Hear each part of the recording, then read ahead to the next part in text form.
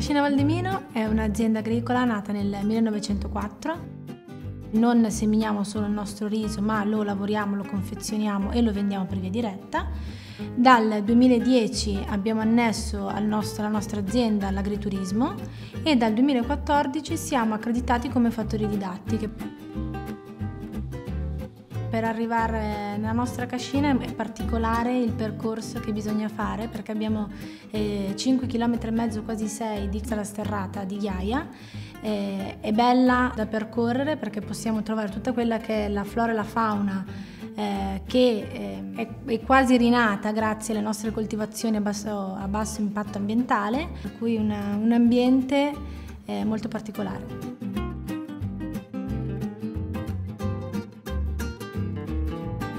Una ricetta non proprio del, del nostro luogo, è una ricetta eh, che si trova solitamente in Toscana e a Roma. Siccome siamo una cascina multietnica, nel senso che la cascina è di proprietà di Franca, il genero è romano, il cuoco è della Basilicata, per cui siamo tutti un pochino eh, in varie zone d'Italia.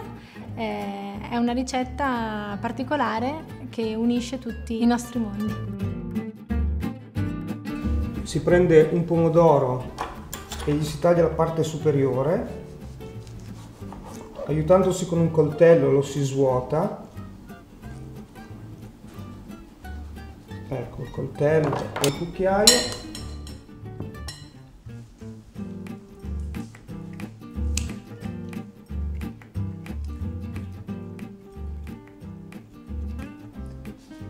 a questo punto questo pomodoro verrà passato con un passaverdure, noi l'abbiamo già fatto, e procediamo con il ripieno.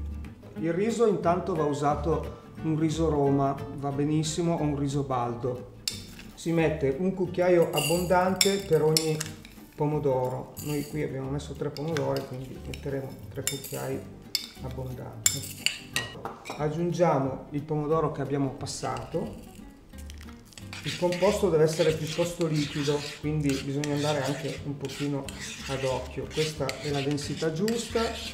Aggiungiamo del basilico, delle foglie di basilico che dovremo tagliuzzare con le mani, quindi non con il coltello, altrimenti perde l'aroma.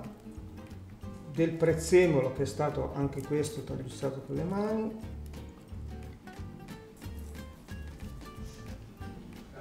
olio extravergine di oliva. E procediamo al riempimento sempre aiutandoci con il cucchiaio. A questo punto possiamo rimettere il cappello.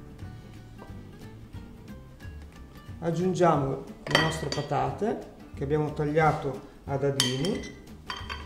La forma non è importante io ho deciso di tagliarla a dadini perché ha un tempo di cottura uguale al pomodoro quindi olio.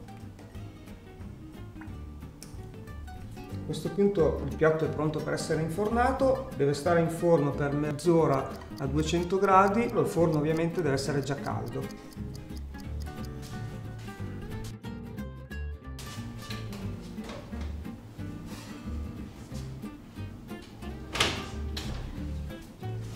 lo lasciamo raffreddare per circa un'ora, un'ora e mezza e lo gustiamo tiepido e buon appetito!